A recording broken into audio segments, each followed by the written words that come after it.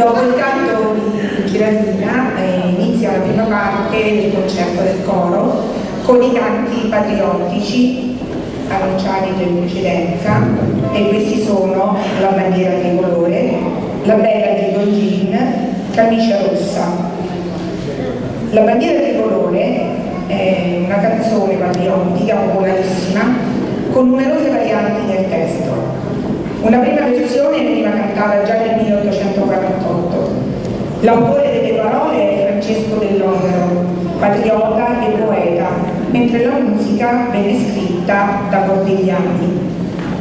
Segue poi, seguirà poi la Bella Gigogin, che fu scritta nel 1858 dal compositore milanese Paolo Giorza, che si ispirò ad alcuni canti popolari lombardo-piemontesi.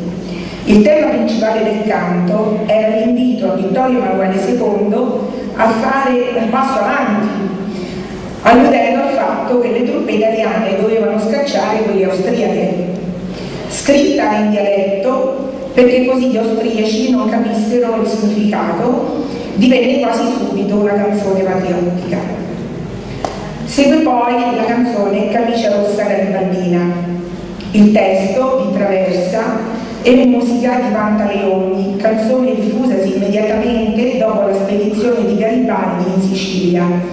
La prima edizione conosciuta è del 1860. La camicia rossa è nel testo e nella musica un canto esemplare del dal gusto risorgimentale.